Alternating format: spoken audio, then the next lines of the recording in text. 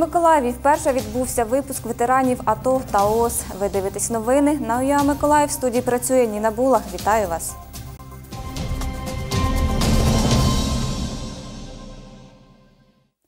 У Миколаєві вперше відбувся випуск ветеранів АТО та ООС, які зі своїми родинами пройшли програму реабілітації Ребут. Як саме дізнавались кореспонденти Суспільного. На столі 12 сертифікатів. В залі колишні, діючі військові, члени їх родин. Протягом п'яти місяців з ними займалися професійні психологи, капелани, куратори проєкту. Было несколько п- этапов. Это был Було декілька етапів. Це був проєкт Restoring Spire на 5 днів на західній Україні. Ось такий стартовий проєкт. І потім регулярні зустрічі протягом 4 місяців, де збиралися невеликими групами до 12 людей, щоб вирішувати всі питання, пов'язані з нашою війною, сімейними стосунками, стосунками з дітьми і один з одним, ну і з самим собою. Боротися з посттравматичним синдромом п'ять місяців тому прийшов Сергій Гусіді. Чоловік розповідає про зміни у собі. Тезнісно, це змінилось ставлення до дружини, ставлення до дітей, ставлення до вільного часу, ставлення до особистого здоров'я, до віросповідання, до проводження часу, розподіл часу. Е, тому що до цього все було так, шкеребет. Зараз це якось нормується. Ось це основне, що мені дало. Програма перезавантаження розроблена в Америці. На практиці використовується з 2011 року. Одна з тих, де у психологічній реабілітації військових беруть участь і члени їх сімей. До програми я була більш агресивна, ну тому що чоловік покидав, залишав, їхав на війну. Я залишалася сама з дітьми, і це напевно десь давало мені на психіку. Після цих 12 тижнів зараз я відчуваю себе взагалі іншою людиною. Тобто, в мене немає цієї агресії, немає тих якихось страхів далеких, які в мене були. От зараз він теж буде від'їжджати туди. У мене вже якось я себе чувствую спокійніше. Під час заходу учасники переглядали світлини з фронту, дивилися мотиваційні відеоролики, розповідали про свої спогади із зони ведення бойових дій. Допомагати у боротьбі із невидимим ворогом. Так співорганізатори програми називають посттравматичний синдром. У Миколаєві будуть і надалі. На сьогодні набрали ще дві групи, розповів капелан Євген Мінін.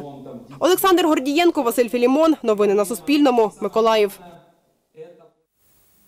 У Миколаєві в рамках правопросвітницького проєкту Миколаївська школа параюристів відбувся семінар. Учасники мали змогу прослухати виступи спікерів, дотичних до юридичної галузі та правової допомоги, а також поставити їм питання. Зареєструвалось 35 учасників. Це студенти миколаївських вишів та коледжів. Метою даного проекту є популяризація правової культури серед молоді, а також розвиток інституту параюристів в Миколаївській області. Сьогодні будуть підійматися це питання булінгу, е, проекту «Мик- е, шкільний офіцер поліції, е, доступ до публічної інформації, захист прав громадян і також роль параюристів у цивільних процесах.